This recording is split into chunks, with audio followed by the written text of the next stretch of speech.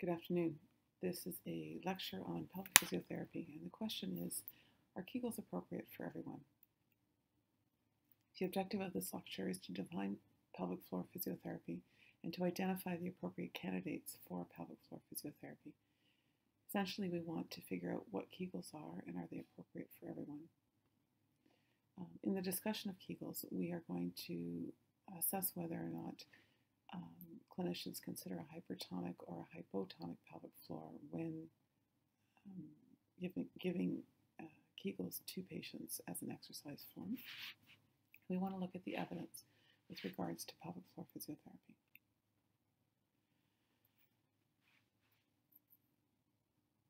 What is pelvic health physiotherapy? Pelvic health physiotherapy is the assessment of the pelvic floor muscles as they contribute to incontinence, constipation, pelvic pain, and pelvic organ prolapse. It involves the digital, vaginal, and rectal examination of the pelvic floor muscles, but it also includes a comprehensive orthopedic assessment. We are not able to just consider the pelvic floor at a patient's presentation without considering other orthopedic uh, contributing factors. Uh, on the other hand, we should not be doing an orthopedic assessment on patients without considering the pelvic floor as a contributing uh, element to the patient's presentation. Well, why doesn't this happen on a regular basis? Well, certainly there's a lack of training in medical school, physiotherapy, uh, postgraduate education, midwifery programs, and nursing programs. I've recently taught at a local uh, Canadian university in which all four of those student groups were present at this uh, discussion. None of these student groups were currently being trained um, in the appropriate assessment by digital palpation of the pelvic floor for strength and hypertonicity. Need to recognize that Kegels are not a one size fits all exercise, which means that if people have a pelvic problem, the first solution should not be to give them Kegels. We need to recognize as well that incontinence and pelvic pain are very private, personal, and underreported problems, and we'll look at the statistics of that. There's this huge misconception in our society that has been perpetuated by the medical um, system that incontinence is an inevitable part of aging.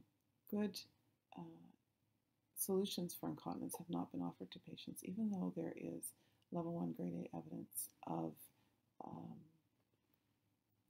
that physiotherapy is, is a very effective way of dealing with incontinence. We'll talk about that in a few minutes.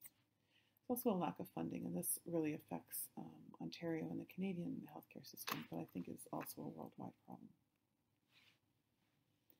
Let's look at incontinence and pelvic pain specifically. How common are they? Well, one in four women in Canada report incontinence, and one in nine men report incontinence. If we look at endometriosis, which is the most common form of pelvic pain, 10% of women um, report endometrial pain. This is according to an Australian white paper um, published in 2011. There's a new study that was actually just published on female pelvic pain in 2013 that looked at 2,000 college students in the United States. Um, it was a, a mail out survey, and they received 400 replies on the survey. Of those 400 replies, 72% of young women, these are college educated women, reported pelvic pain uh, with intercourse. And 75% of those women had never spoken to a medical professional about it. The reality is that this is a serious problem. The statistics now say that 50% of us will end our life in diapers, and a significant part of that is due to pelvic floor dysfunction. As physiotherapists, pelvic floor function and muscle function is part of our um, culture and is part of our expertise. And I think this area we are largely responsible for. Let's talk about this concept of a lack of medical training uh, in assessment. There is excellent ev evidence in the literature to suggest that palpation based training of the pelvic floor has good support. Uh, the Cochrane collaboration uh, uh, Chantal Dumoulin and her partner uh, created a review in 2010 that looked at all the evidence behind pelvic floor muscle training in incontinence. And they looked at mixed incontinence, so both stress incontinence and urge incontinence, and concluded that there was level one evidence that approximately 80% of women who underwent uh, conservative care by training the pelvic floor um, had a marked or significant improvement in their continence. Right now in Canada, the majority of those women who have stress incontinence would be offered um, a surgical procedure such as a TVT. Right now in Canada, that it is not common to see those women being offered pelvic floor physiotherapy as a uh, entry point into a surgical consult. Is there good evidence that when we palpate internally that we have um, good inter-tester and intra-tester reliability? Helena Frawley did a study in 2005 and found that there's 79% complete agreement in crook lying um, and supine using the six point uh, modified Oxford scale for muscle testing. And we'll go over that in a minute. So, the muscle testing scale for pelvic floor muscle training and assessment is the same uh, Oxford scale that we use for manual muscle testing in other areas. And a grade one indicates that there's just a flicker of, of movement in the pelvic floor. How you assess the pelvic floor is to insert two fingers and your fingers are just resting gently against the pelvic floor muscles um, at between the first and second uh, knuckle of your fingers, uh, the DIP and the PIP. And with your fingers just gently resting against the pubovaginalis muscle, if you feel a flicker on, on command of doing a pelvic floor contraction, you would give them a grade 1. If you can actually feel them squeeze a little bit against your fingers, but there's no lift or drawing of your fingers inside, then you would grade them a 2. If there's actually a tightening of the pelvic floor and a lift inside, they would uh, receive a grade 3. And a grade 4 and 5 uh, is graded based on the amount of resistance that you can give uh, with your fingers to their muscles. It's very important when you're manual muscle testing that you don't actually give them resistance until they start to contract because you don't want to put their muscles on a stretch uh, before they're able to generate any force.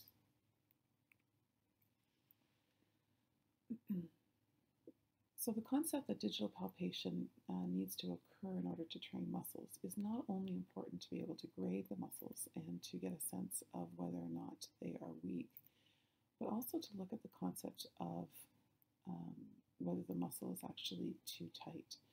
And if there's hypertonicity present in the muscle, we would not want to be training that muscle in the same way as if there's hypotonicity or weakness contributing to that patient's problem. And this is something that we understand um, globally in other muscle areas um, of the body, but has not been considered except for perhaps the last 10 years uh, with regards to pelvic floor training. The Society of OBGYNs in Canada um, have come up with a practice statement as well in 2008 that indicate that pelvic floor training should be done with digital palpation or biofeedback. So randomly, we should just not ask patients to squeeze these muscles as if stopping a midstream urine and hope for the best of uh, uh, luck for the patient to figure out where these muscles are and what they're doing.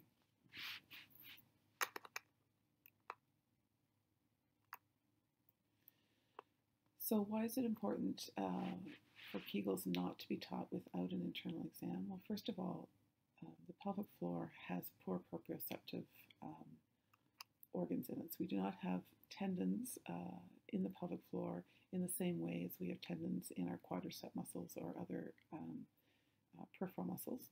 And because we don't have tendons, we don't have Golgi tendon organs, and so our, our proprioceptive um, structures are quite different in the pelvic floor. These muscles are internal, so we have poor visual and tactile connection with them. Uh, think about going to the gym and working out. We tend to use the mirrors in front of us to give us a sense of feedback and what we're doing, and we don't have this feedback in the pelvic floor. And then, of course, we've been talking a little bit about whether these muscles are hypertonic or hypotonic, and that is very important as well to assess before um, we consider uh, pelvic floor muscle training or any other appropriate treatment for pelvic floor problems. Okay, so this is a tutorial on the pelvic floor. So what we're looking at here is a superior view into the pelvis, and you can see these muscles which make up the pelv pelvic floor at the bottom of the pelvis. So I've got the femurs in here because I've included the muscles of the walls of the pelvis. So you've got the piriformis muscles attaching to the sacrum and to the greater trochanter of the femur. And you've got the obturator internus muscles, which you can see here. And again, he will take you through uh, this lecture. If I rotate around to the back, you can see the uh, tendon of the obturator internus muscle attaching to the femur. So those two muscles make up the walls of part of the walls of the um, of the pelvis. So the pelvic floor separates the pelvic cavity above from the perineum below. And it consists of the pelvic diaphragm and then you've got the perineal membrane and the deep perineal pouch. So the, the word pelvic diaphragm is often used interchangeably for pelvic floor, but in this tutorial I'm going to talk about the pelvic diaphragm in relation to two specific muscles, and then I'll go on to tell you about the perineal membrane and the deep perineal pouch. So these three structures combined make up the pelvic floor. So to begin with, I'm going to talk about the pelvic diaphragm. So the pelvic diaphragm is this dome-shaped um, set of structures which we're looking down at, and it consists of the levator ani muscles on either side. So you've got this midline raphe, this ligamentous midline, where the two halves of the levator ani muscle attach. And you've got the coccygeus muscle, which is this muscle here. So I've just isolated the um, the pelvic diaphragm muscles, and you can see the shape of them here. It's like this this bowl shape of muscles. So ignore this extension up here as the, the muscle doesn't actually extend this far up. So just bear that in mind. So it has its anterior attachment on the posterior surface of the pubis here and then it attaches along the fascia of the obturator internus muscle. And then at the back it attaches to the coccyx and it meets in the midline to form this midline raphe. So this is where the the levator ani meets in the midline, posterior to the anus, which is this um, aperture here.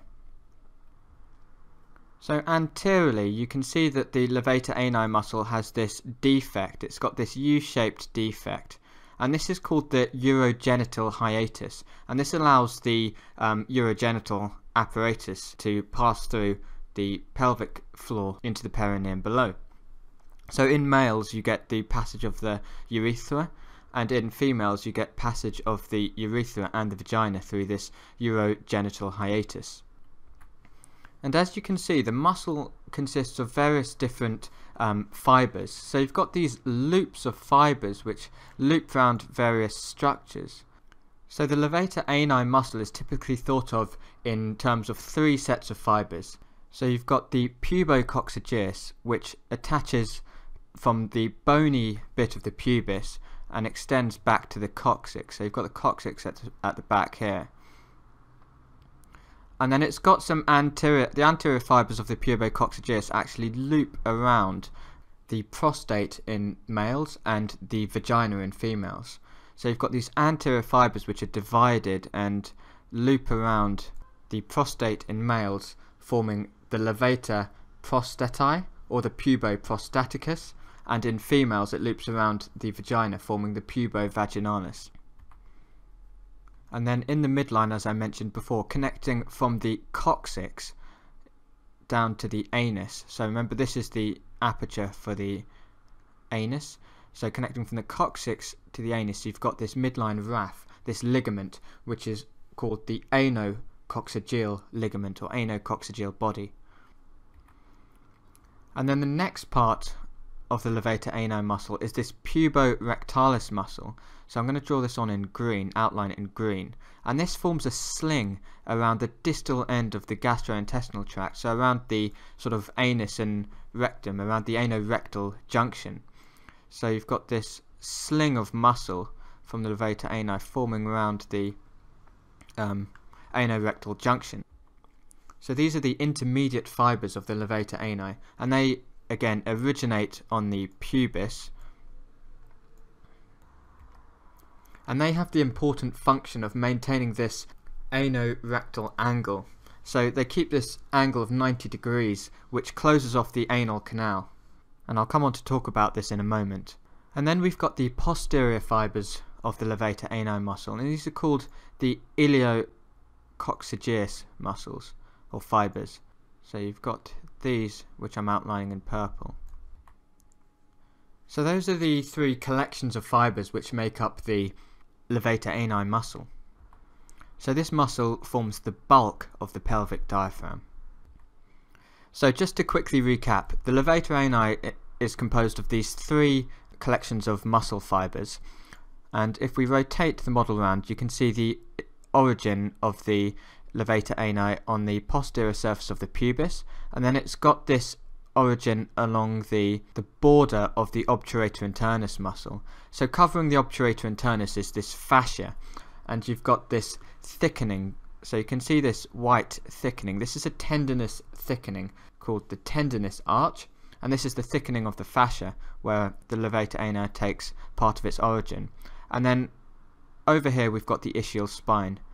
So along this line from the body of the pubis along this tendinous arch to the spine of the ischium, the ischial spine, the levator ani takes its origin and then it inserts on the coccyx and in the midline at this anococcygeal ligament.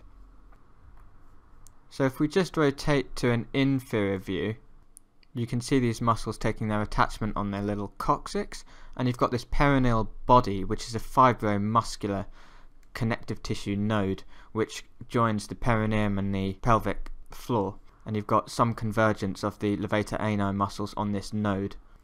So the function of the levator ani muscle is to support the pelvic viscera and it keeps the rectum and vagina closed. So it has this kind of sphincter closing action on the rectum and the vagina.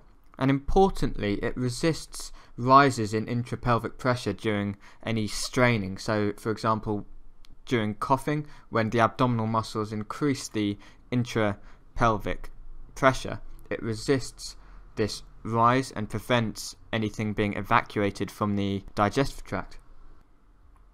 So one thing I mentioned was that the puborectalis maintains this anorectal angle. So you've got this angle between the rectum and the anal canal. And the puborectalis loops around this and and it keeps this angle. So by maintaining this angle it sort of forms this valve which stops the anal canal filling with feces from the rectum. So when this muscle relaxes and releases its tension on this angle, the angle between the rectum and anal ca canal increases and it becomes more like this. So then you don't get this pinching off of the anal canal and feces can flow from the rectum into the anal canal. So this is important in defecation, so you need to be able to relax the pelvic diaphragm muscles, in particular the puborectalis portion of this muscle, in order to relax this anorectal angle and prevent shutting off of the anal canal. So the other muscle of the pelvic diaphragm is the coccygeus, which you can see here on either side. So this muscle lies over the sacrospinous ligament. So if I rotate it around to the back, you can see this ligament connecting the sacrum to the ischial spine.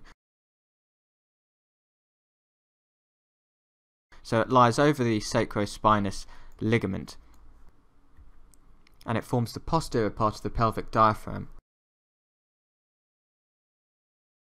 So it originates on this ischial spine and it inserts laterally on the coccyx and the adjacent margins of the sacrum. So if I just rotate around to the back, you can see its insertion along the margins of the sacrum and the coccyx below. So this muscle um, functions to support the pelvic floor and it's innervated by branches from the anterior rami of S4 and S5.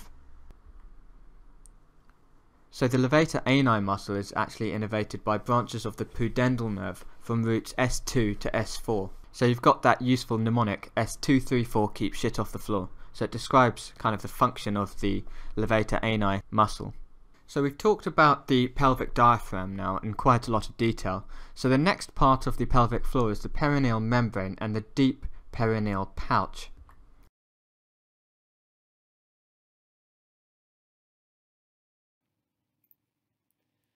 Moving on to the next slide, um, it's important to understand that the pelvic floor muscles have five very important functions.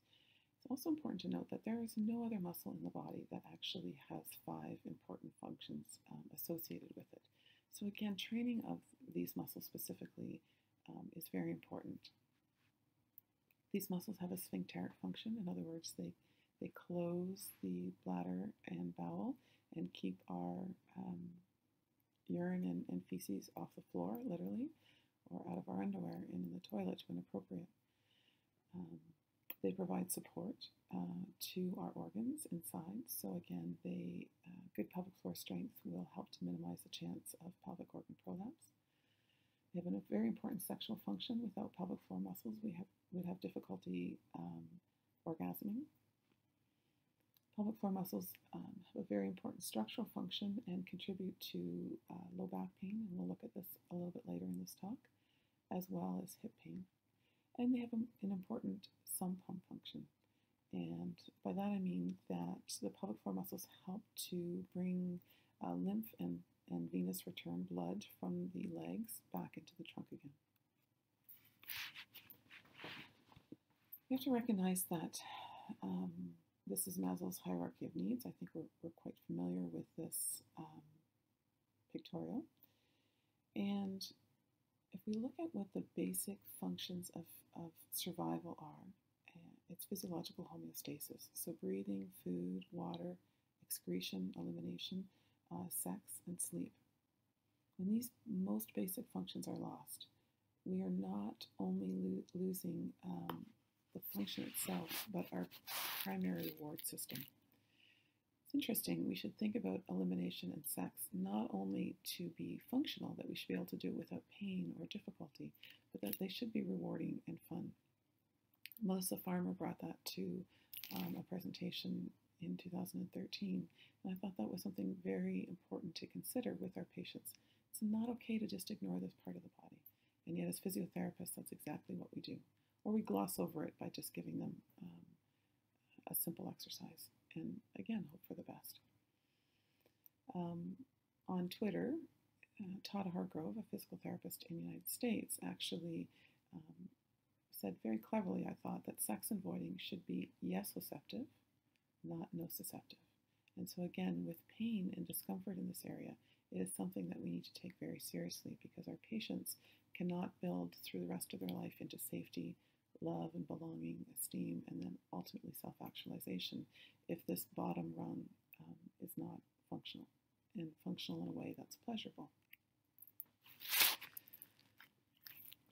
All right, pelvic health physiotherapists assess the integrity of the pelvic floor to determine if these muscles are hypotonic, which means weak, or hypertonic, which means too tight, or if they are indeed healthy tissues. If indeed the muscles are weak and dysfunctional, we may see those muscles leading to an array of problems such as um, stress urinary incontinence, sometimes urgent incontinence, and pelvic organ prolapse, as well as chronic low back pain. If the muscles are hypertonic, okay, then we may see them lead to a number of pain conditions, and we'll talk about those shortly. Let's talk about hypotonicity first and whether or not Kegels would be appropriate for this group. So what are Kegels? Well, Dr. Arnold Kegel was the first uh, physician in the 1940s. He was an OBGYN who decided that women really needed to exercise their pelvic floors postpartum. He used a perineometer, which is a squeeze pressure device that will objectively measure pelvic floor strength. However, the problem with this device is it also measures intra-abdominal pressure, so it's not very specific. And um, it does not also tell whether or not you're using your abdominals or your glutes to squeeze that device. So again, our fingers actually um, give us much more information. And again, our fingers also tell us whether there's hypertonicity present, in which case, if that is the case, we would not want to be strengthening uh, that woman's pelvic floor. He did use palpation in the 1940s. That's how he taught women how to do pelvic floor muscle contractions. And uh, somehow, though, we have uh, gone away from that and we've digressed. And right now, the state of pelvic floor muscle training is that it's mostly verbal cueing with no palpatory feedback. Uh, we're telling women to stop a midstream urine, which for women really gets them to focus on their front triangle or the ability to um, just squeeze the urethra or the vagina. Um, and most women forget that their pelvic floor is also very posterior. It's in the rectal um, uh, region as well, in the posterior triangle, and that these muscles must squeeze to lift the pelvic floor. That's very important. The other thing that women have been told often is that they can just do a few contractions here or there, do a few at the stop sign, do a few at the kitchen counter, just whenever you think about it, squeeze three to five times. Well, unfortunately, this is not good uh, muscle based physiology training, and so we have to look at these muscles as any other muscle group. If we are going to go to the gym to strengthen our biceps, we would do three sets of 10. When we look at the literature done on pelvic floor muscle training, it is done on approximately 30 repetitions, completed all at once so that we get muscle fatigue. And this is how we have to build um, a muscle strengthening program for women with uh, incontinence. So, what is pelvic floor muscle training? Well, it requires specially trained physiotherapists. In Ontario, um, the College of Physiotherapists uh, protects the act of doing an internal exam and physiotherapists must be rostered and trained um, in a postgraduate setting to do an internal exam. Many orthopedic physiotherapists, so physiotherapists who deal with um, the body from a muscle joint perspective, which I consider pelvic health physiotherapists to be in that realm. In fact, I, I believe that pelvic health physiotherapy should really fall under the purvey of orthopedic uh, physiotherapy and not so much women's health per se. Um, because the principles are, are the very same. The only difference is, is that pelvic health physiotherapy is like physiotherapy in a cave, basically. We can't see, so you have to use your fingers, but the principles are the same principles as we use in orthopedic physiotherapy. Most orthopedic physiotherapists uh, do not do an internal exam. Again, they are just uh, giving patient giving patients cues such as um, squeeze these muscles as if stopping a midstream urine. It's interesting, I think the other thing we should note is that there is no other part of the body that we treat without assessing first. And in fact, if we did, if we were going to assess a knee joint, for example, and never took the patient's jeans off and did the assessment through a pair of jeans, that in all likelihood, someone could complain to the college to say that that was in, an inappropriate assessment, and our findings and our exercise based on that assessment um, may not be helpful, and in fact could potentially be harmful because we didn't get all the information. Somehow, though, with Kegels, this has become an accepted um, form of treatment, and again, we need to really think about that. If you're not assessing the part, you should not be treated. So let's look at evidence in, in, pelvic health physiotherapy specifically. And the goal of the rest of this lecture is to really talk about what is the evidence behind pelvic health physiotherapy. We all like to talk about the use of evidence-based practice. And in fact, this was an interesting um, report that was published in the British Medical Journal. It was published online and, and it was accessed on October 20, 2011. And what it says is that even though we have been talking about evidence based practice for the past decade, 59% of all medical interventions, and, and they uh, looked at 3,000 different medical interventions in the study, have been shown to be either ineffective or unlikely to be effective, and yet they are prescribed every day by doctors um, as if they were effective.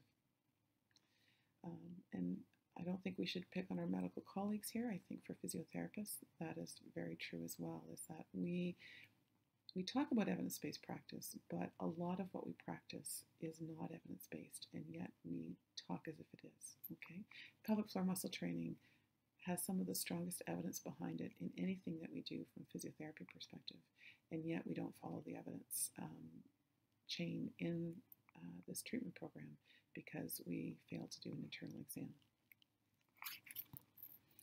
So if we look at who has a hypotonic pelvic floor, in fact, generally speaking, and again, we cannot go by the diagnosis alone because I've treated many patients whose predominant symptom was stress incontinence who actually had hypertonicity as well as hypotonicity or just hypertonicity alone.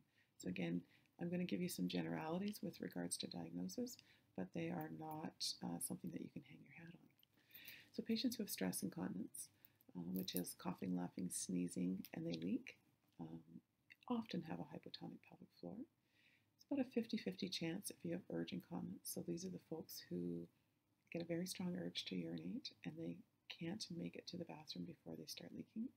About 50% of those uh, folks will have a weak pelvic floor and 50% will have a tight pelvic floor. Mixed incontinence um, can be uh, a bit of both or simply a hypotonic pelvic floor, and this also affects our prenatal and postpartum patients. If someone has fecal or gas incontinence, um, so stool or gas incontinence, then it often is due to weak pelvic floor. And pelvic organ prolapse um, is mostly due to weakness of the pelvic floor muscles and suspensory weakness of the ligaments um, that suspend the organ. So it's a, a, dual problem. These are generally speaking patients who will benefit from doing Kegels. So prolapse um, occurs in women who have weak pelvic floors, and it can occur after childbirth, but I've also seen women who've never had children who have a prolapse. The question really after childbirth is Are women going back to activity um, too quickly? And so, unfortunately, at their midwife appointment at six weeks, at their uh, follow up appointment with the gynecologist at six weeks, no one is actually assessing pelvic floor strength. And grade 3 pelvic floor strength means that they have the ability to squeeze and lift their pelvic floor with, with little resistance. So it should be a bare minimum um, strength before women are encouraged to go back to activities that, fall, that involve heel strength. And if we look at one of the most common um, activities that women like to get involved in postpartum to get their bodies back in shape is boot camp. And boot camp is a very aggressive form of um, training. Uh, involves a lot of jumping and heel strike activities. And unfortunately, these women are not being assessed first to determine whether or not their pelvic floor is strong enough to deal with that trauma in their body or that level of vigorous activity. Um, and so we are putting that, these women at risk by not doing that. When we, come, uh, when we look at training the pelvic floor for treating prolapse of uh, pelvic floor or, or pelvic organs, so the organs that most commonly prolapse are the bladder and the uh, rectum, although you can also see an intestinal prolapse. And you can also see, of course, the uterus prolapse. That's fairly common as well. What we know from the literature, and there was a, stop, uh, a study called the POPPY study. It was presented at the International Continence Society uh, meeting in 2011. Actually won the Best Abstract Award at that, at that conference. This study demonstrated that pelvic floor muscle training is both effective and cost effective and should be the first line of defense in reducing symptoms associated with pelvic organ prolapse. Uh, physiotherapists can help to retrain uh, a, a prolapse by one grade. And in this lecture, we're not going to talk about how to grade a prolapse, but basically, if you have a grade 2 prolapse or less, so a grade 1 or 2, um, training the pelvic floor is a very effective way and we do that by training posture, lifestyle modification, and specifically pelvic floor muscle training. If they have a grade 3 or 4 prolapse, they will likely require a pessary or surgery, um, but they should have pelvic floor muscle training pre and post surgically. And that just makes logical sense if you think about it. If we think about um, someone who has a meniscal problem in their knee and they have significantly reduced range of motion, the surgeon is not going to uh, likely go in and clean up that meniscus until they've regained some of their range of motion and strength in their knee. And orthopedically, we know that if we do some rehab, or we can call it prehab, some rehab prior to surgery, that the surgical outcome is better, and some rehab post surgically, that overall their outcome is better than if they don't do that. And we've accepted that um, orthopedically in, in different joints for many, many years. Uh, in the pelvic floor, unfortunately, the surgery is seen in isolation. They repair the bladder, but the integrity of the muscles and the condition of the muscles is not considered pre and post surgically um, until, uh, or at all really. And so what happens is that if the sling is put in um, for a pelvic organ prolapse, if the sling is put into muscles that are very um, mushy and hypotonic or even hypertonic, we run into trouble. If they're hypertonic, we often get pain post-surgically, and if they're hypotonic, the sling repair um, doesn't last. And in fact, the average sling repair now lasts about five to 10 years. Um, Dr. Pauls did a really nice study that was published in 2013, and this is the first study that I've seen to date of this. Um, and what she did was she looked at women who had um, pelvic organ prolapse surgery, and she divided them into two groups randomly.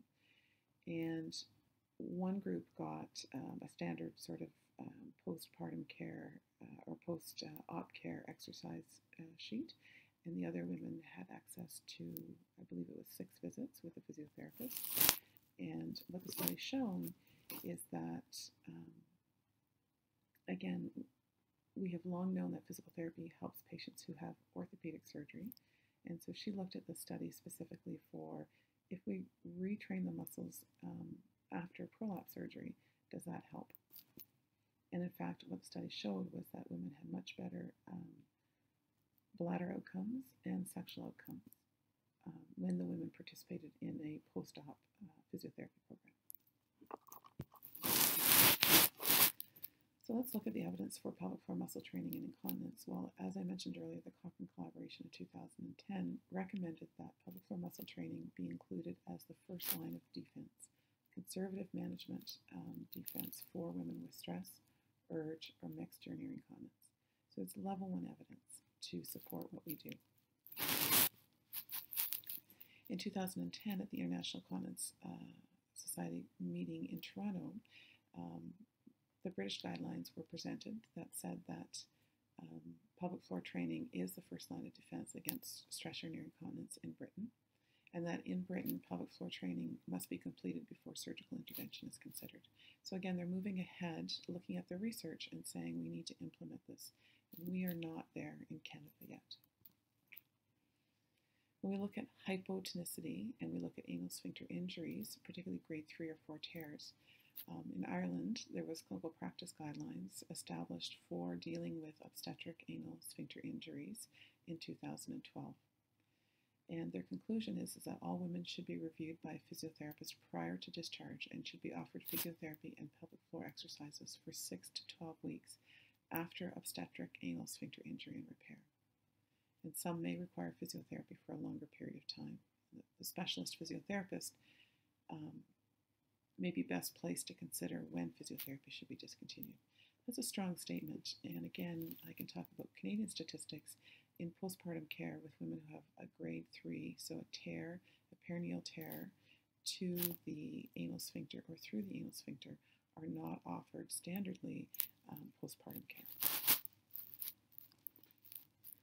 Again, if we look at the Joint Society of Obstetrics uh, and Gynecologists, um, their practice guidelines very clearly say that uh, initiation of pelvic floor exercise in the immediate postpartum period may reduce the risk of future urinary incontinence, and that this should be done with a physiotherapist, um, and that core strengthening also has um, some benefit to it as well, and uh, should be done with a physiotherapist.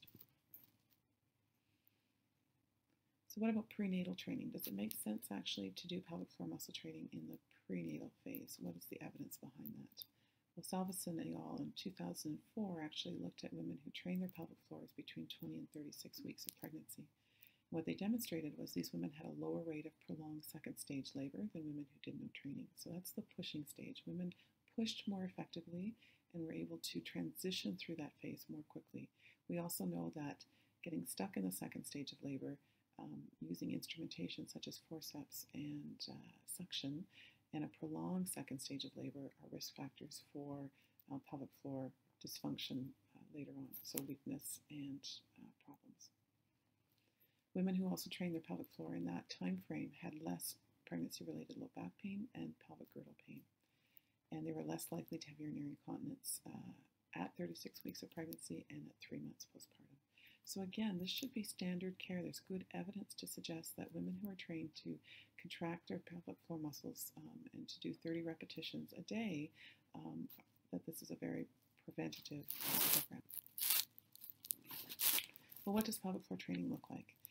Well, because these muscles are inside, often the way a pelvic floor therapist will train the uh, patient is to visualize the fact that there are actually two triangles in the pelvic floor. And I'm going to skip you ahead to the next slide so that you can see the triangles.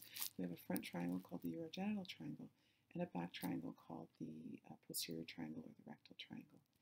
What's really important for women is that they understand that this whole um, conglomerate of muscles called the pelvic floor um, is used in the pelvic floor muscle contraction and that it's not just vaginal. It's interesting to note that when I assess men, men think it's mostly about their posterior triangle, and women think it's more about their anterior triangle. And so it's getting the coordination of those uh, two areas that's important. Uh, a visual cueing, which was created um, by Beat Querer in uh, California, um, that I find particularly helpful in my clinical practice is I often start women thinking about these tubes or tunnels that lead from the outside to the inside and I describe those tubes and tunnels in a way to patients that allow them to start to connect with each area of the pelvic floor. So, for example, I might ask them to imagine that they're drawing a marble into their anus up to their rectum. And because the vagina is a, a larger tube or tunnel, we think about a ping pong ball, drawing a ping pong ball up and in towards the uterus. And because the urethra is very tiny, we also think about drawing a raisin into the urethra and up towards the bladder. And this will start to give them a sense of uh, their pelvic floor. If we stay on this picture for a moment, you can also see the muscle fiber orientation in the pelvic floor. So we've got some muscle fibers oriented from front to back and some muscle fibers oriented from side to side. So one of the things that we'll then do is as they put the pelvic floor together, we'll get them to think about drawing their bones together because essentially that is what muscles do is they draw bones together if a patient uh, was paralyzed, for example, in their bicep, let's say they had a stroke and they could not uh, conceptualize where their bicep was, one of the things I might do is I might tap the bicep and get them to think about bringing their wrist to their shoulder versus saying to them, contract their bicep. I might get them to uh, the same sort of cueing and, uh, and training might happen in the pelvic floor I might say to them, okay, I want you to use your pelvic floor muscles to draw your pubic symphysis, your pubic bone, and your tailbone together, and then lift them inside. Or if we want to engage the uh, horizontal muscle fibers, we may say to them, okay, I want you to think about drawing your sits bones together, and then draw them inside, and then let them go. And you're much more likely to get some nice concentric and eccentric training happening in that way. The literature says very clearly that we need to do uh, 30 repetitions uh, once a day, and that again, we need to do that for a period of time that it takes to retrain muscles um, based on muscle physiology, which is about 12 to 16 weeks. So women need to be very diligent in that time frame. So we do have some choices with regards to giving patient options in the uh, prepartum, postpartum, pre-surgical, post-surgical phases with uh, straightforward stress incontinence and urge incontinence and pelvic organ prolapse. And each of these areas has good evidence behind them. And so one of the things that we need to ask ourselves as physiotherapists are, is, are we offering our patients um, best evidence? Going back to that slide from the British Medical Journal, are we just practicing what we know how to practice, or are we following the evidence trail and the evidence chain as to how we should train the pelvic floor? And, and now, again, I'm specifically talking about the hypotonic pelvic floor. so let's move forward and talk about the hypertonic pelvic floor. So again, with the hypertonic pelvic floor, the question we're trying to answer is, are these patients appropriate for Kegels? Is this a patient group that we should be prescribing Kegels to? Well, on this slide, this is a doc assessing a man's uh, anal sphincter, and obviously it's very tight. And um, the medical system with hypertonicity, which causes inflammation and irritation um, in both the pelvic floor and the visceral structures, the organs um, surrounding the pelvic floor, um, the, the, medical system has very much medicalized that. So this doc is talking about this as an inflamed prostate, but it's just as likely to be actually hypertonicity in the pelvic floor that's causing that man's pain and not necessarily his prostate. So what kind of symptoms will your patient present with if they have a hypertonic pelvic floor? Well, these are the, the women that have pain during or after intercourse, orgasm, or sexual stimulation.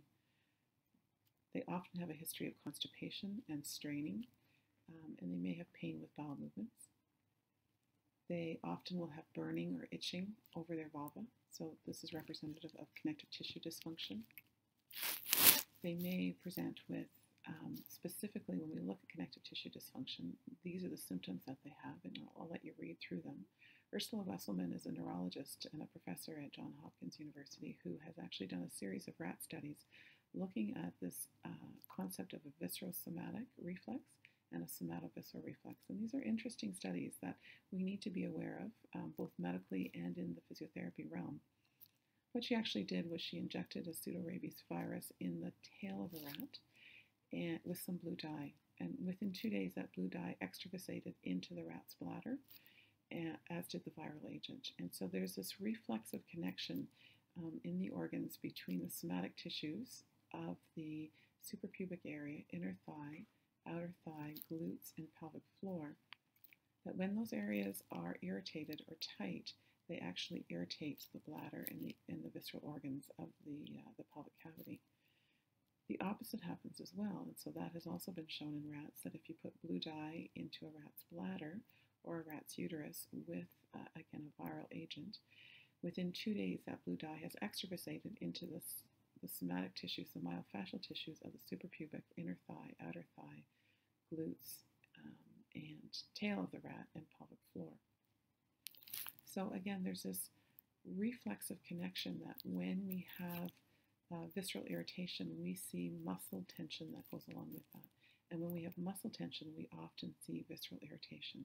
And so that will help you to start to understand some of the connection that we see um, in interstitial cystitis, for example, which is painful bladder syndrome, or endometriosis, how uh, women with a lot of endometrial tissue will often end up with very hypertonic uh, pelvic floor muscles, suprapubic muscles, lower abdominal muscles, um, and thigh muscles. And this results in connective tissue dysfunction. And uh, Fitzgerald et al. did a nice study in 2012 that identified these conditions and actually set about to treat them. And we'll talk about that study in just a moment. So you will also get the symptoms um, of urinary problems. So typical sort of painful bladder syndrome, uh, frequency, urgency, hesitation, the stopping and starting of the urine stream, painful urination, or incomplete emptying. And um, when their pelvic floors are tight, these are the types of symptoms that you're going to see with, with these patients. Um, unexplained pain in their low back, pelvic region, hips, genital area, rectum, so pelvic girdle pain and low back pain. And often these women are very intolerant of a speculum exam, and that should be one of your first cues. The conditions that we see um, that are consistent with a hypertonic pelvic floor are recurrent urinary tract infections. And again, that's based, again, not on uh, true infections, not cultured infections, but the feeling of a urinary tract infection. And again, that has to do with that viscerosomatic loop that we just talked about. Um, the history of sexual abuse, I put this in, in brackets because sometimes we think that when women have a hypertonic pelvic floor, they have a higher chance of having a history of sexual abuse in their past. And in fact, it's about one in four, which is the statistic um, um, for women generally. So we don't see any more abuse in this patient population, but we see, see the same representative uh, level of abuse in this patient population. Um, anybody with a history of pelvic pain or pelvic girdle pain, we need to consider hypertonicity of the pelvic floor in their presentation. Certainly we've talked about endometriosis, which is uh, inflamed and irritated endometrial lesions sitting outside of the, the uterus, interstitial cystitis or painful bladder syndrome, irritable bowel syndrome, and fibromyalgia. So can we actually identify these women clinically? Well, a Chicago group did a nice study in 2011, and um, it was a blinded examination, a double blinded examination, and they looked at 44 patients. And what they were able to show is they were able to identify the women who actually had chronic pelvic pain by two specific tests. They actually did a whole battery of tests with these women, and two specific tests clinically uh, and reliably um, identified these women as having um, chronic pelvic pain. And they were a hypertonic pelvic floor and a positive force Fabers uh, test. Again, very easily we can start to, with our clinical exam, identify women who have chronic pelvic pain. I've alluded to the study. Fitzgerald um, et al. did two studies, one in 2009 and one in 2012. 2009 was a pilot study, and 2012 was a full study. And um, this is a very difficult study to carry out, and they did a fantastic job of looking at um, a standardized protocol for all women. So, to be included in the study, you had to have had persistent urological pain for less than three years but greater than three months. And all these women, regardless of their actual presentation, um, underwent the same um, form of uh, physical therapy. And so they did connective tissue massage um, between the knees and the rib cage, front and back, and they released uh, certain pelvic floor muscles and certain external muscles. And uh, they compared that treatment group to a generalized massage group. And the outcome of both studies showed that 59% of women in the full trial and 57% of women in the feasibility study uh, responded to physiotherapy interventions as, as, as described earlier, addressing tissue dysfunction only as compared to 26% of people responding to generalized massage. Again, I, I note that, again, it, what they treated was tissue dysfunction specifically. One of the things that we know very clearly at this point about um, pelvic girdle pain and pelvic pain conditions like interstitial cystitis, irritable bowel syndrome, uh, fibromyalgia is that these patients have a strong central sensitization component, and so this component was not addressed at all in the study. Uh, it would have been very difficult at this point to do that. It'd be very interesting to run the study again and to actually randomize these uh, women into two groups this time. One that into the group of tissue, uh, treating the tissues as it was done in the study, and the second group looking at treating the tissues and central sensitization um, as well, looking at both components and to see if there's a difference. So first of all, to see if the study is reproducible for the tissue dysfunction piece, which it probably should be, um, but then also to see if we get a, a larger improvement in women when we add that central component. So this study led to the American Urological Association in 2010 um, to develop their first ever interstitial cystitis guidelines. And this was um, uh, a very important step in, in, starting to manage these women uh, differently and better. Uh, women with interstitial cystitis um, have a very poor quality of life. In fact, it's estimated that these women who are living with interstitial cystitis is similar to living with end-stage renal disease, uh, living on dialysis all the time. That that's the quality of their life.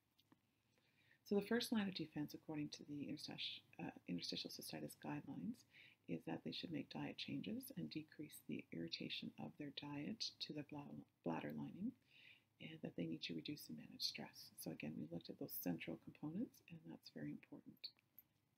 The second line of defense, physiotherapy actually is right at the top of that. And in fact, Dr. Robert Moldwin, who is one of the leading researchers in the United States with uh, regards to interstitial cystitis, estimates that 75 to 80% of IC pain is related to pelvic floor dysfunction. So again, physiotherapists need to play a key role in the treatment of this condition. The second line of defense also includes medications for uh, central pain mechanisms such as amitriptyline and Elmiron, which is a, a medication aimed at the bladder lining itself. And then bladder instillation medications is also the next line of defense. When we look at pelvic girdle pain specifically, we're looking at uh, women predominantly in um, uh, pregnancy and or postpartum phase. This is when pelvic girdle pain really becomes predominant. And these women have difficulty with standing for a long period of time, cycling, walking, prolonged sitting, prolonged lying down, rolling over in bed, getting up from a couch or a chair, especially if it's low, walking up and down stairs, so any reciprocal sort of pelvic girdle movement. They often complain of a decreased stride length or a catching feeling in their leg. Okay, so this is sort of the European uh, guidelines in 2008. These are what pelvic girdle pain patients look like on history. Um, the risk for developing pelvic girdle pain in pregnancy um, is if you had a history of low back pain prior to pregnancy, you're much more likely to develop pelvic girdle pain in pregnancy. If you had uh, previous trauma to the pelvis, and if you have a positive P4 thrust test, and that's the test being demonstrated on this slide. So again, if we look at those patients, um, those are the patients that um, also tend to have pelvic floor dysfunction. So we need to look at that in just a moment. So let's look at that a little bit in a little bit more detail. Is there a correlation between pelvic floor problems and low back pain and pelvic girdle pain? Um, and, and, yes, clearly in the literature there is. So Eliasson did a study in 2008 looking at 200 women with chronic low back pain, and she demonstrated that 78% of them reported pelvic floor dysfunction. Um, Smith and Hodges did a large study in 2006. They actually followed 38,050 women over a five-year period. It was a prospective study done. And we used to believe in the medical community that the strongest two, the two strongest comorbid factors for chronic low back pain were BMI, so body mass index, and inactivity. So our recommendations as a medical community to women with chronic low back pain were lose weight and become more active. And in fact, what this large study showed was that the two strongest comorbidities for chronic low back pain are pelvic floor dysfunction and respiratory dysfunction. So the top and bottom of the canister um, of the core, basically. Okay, and so these are very important muscles and areas to target when we're dealing with chronic low back pain. Van Wingerden um, and associates did a, a nice uh, poster study and poster presentation in 2013 at the first uh, Congress on abdominal pelvic pain in Amsterdam. And they did a large study, 1,636 patients, and 63% of women with pelvic girdle pain um, in their study had pelvic floor dysfunction, so two thirds and 57% of women had combined low back pain and pelvic girdle pain and pelvic floor dysfunction. So there is a strong association between lumbopelvic dysfunction and pelvic floor uh, problems or, or, or uh, pelvic floor organ problems. So we really have to start asking the question, you know, could these pelvic floors in pelvic girdle pain and low back pain be weak or tight? And on history, they definitely are presenting with pelvic floor dysfunction. So you really need to ask your low back pain patients, do they have incontinence? Do they have pelvic pain? Do they have dyspareunia, which is painful intercourse? Do they have urgency or frequency? And are they constipated? And if these are the case, then they really need to be seen by a physiotherapist as well who can assess their pelvic floor because it will be contributing to this problem according to evidence based medicine. Well, does this matter? Um, I think we would all agree that it does. If we look at the statistics on treating back pain throughout the world, we are failing miserably. Um, back pain is the number one cause of global disability. So it's something that we need to think about as physiotherapists. So let's again just review the conditions that we've talked about. Um, hypotonic pelvic floors, weak pelvic floors, should have a, have a supervised pelvic floor muscle retraining program. They should only be given if the pelvic floor muscles are weak, and the state of the pelvic floor can only be determined by palpation. Kegels should be taught by palpation as many women cannot find or properly contract these muscles. So telling a woman to contract these muscles without checking is not a helpful way. And again, this is evidence-based medicine. When we talk about hypertonicity, we need to look at the problem much more globally. And in this lecture, I've not been able to give you a good overview of that, but I want you to at least start thinking about are their pelvic floors tight? And if they are, treating the pelvic floor, releasing the pelvic floor muscles, not training them further by strengthening them, is helpful. We want to teach them to drop or relax their pelvic floor. We have to recognize that these patients present in a bigger context, a bigger picture. They often um, have uh, high levels of catastrophization or faulty beliefs with regards to pain or self efficacy, their ability to actually control their pain. Manual therapy or massage to the internal muscles is very effective, as um, evidenced by Fitzgerald's study, as well as connective tissue massage. We talked about the canister being a problem, both uh, respiratory dysfunction and pelvic floor dysfunction, so we need to look at those pieces. And we need to really consider the neuromuscular uh, component to this and retrain uh, the sensory motor cortex using a lot of imagery, Qigong or Tai Chi. It's really important in this patient group that if they have a hypertonic pelvic floor that we do not give them Pilates or core strengthening because that is just going to create more hypertonicity in these muscle groups. So again, this whole concept of always checking with your doctor before starting a new exercise program, that's fantastic. But if a patient goes to their MD and says, or to their physio and says, I'd like to start a Pilates program, is anyone checking the pelvic floor or asking those questions to know that they're actually hypertonic on history and they should not be doing a Pilates program? So to prove it or ho I hope I've um, got you thinking. I hope that I've stimulated some discussion, um, both for yourself but with your colleagues, to look at this uh, question more seriously. I also hope that you consider the bigger context of the patient, that these muscles are very important for basic physiological functioning, and leaving a patient with poorly rehabilitated pelvic floor muscles is actually doing them a great disservice. It's interesting to note that in some countries in the world, for example in France, every woman is offered six postnatal pelvic physiotherapy appointments as a preventative strategy against pelvic floor dysfunction. So I think we have a long ways to go. This should form a, the basic um, level of care offered to women in the postpartum phase, and yet, and that's what the evidence states, and yet that's not what's happening. So who is appropriate specifically for pelvic health physiotherapy? Well, really all incontinence patients, um, all post-surgical patients, including C-section patients. That creates a lot of scarring in the low abdominal wall and can create adherence around the bladder. It can create um, tension in the um, abdominal muscles, which then can create sensitization to the organs through the visceral somatic reflex. Patients who have a prolapse, all women with a third or fourth degree external anal sphincter tear, so post um, postpartum complication. All pelvic pain patients who have a hypertonic pelvic floor and a positive Faber's test. So I'm really going to encourage you to use evidence-based medicine to guide your assessment and treatment of incontinence and pelvic pain.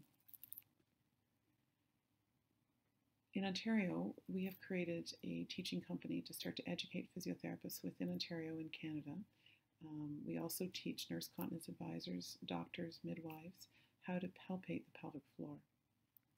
We can do just a, a one-hour lecture similar to this, but we also do three to uh, three to eight-hour training sessions um, on completing pelvic floor exams and how to teach Kegels for all healthcare professionals, so that we are all giving patients um, evidence-based care uh, in our practice.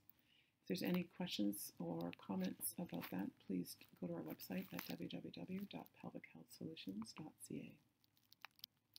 And I've given you as well several studies to consider um, on your journey into pelvic health. Thank you for listening.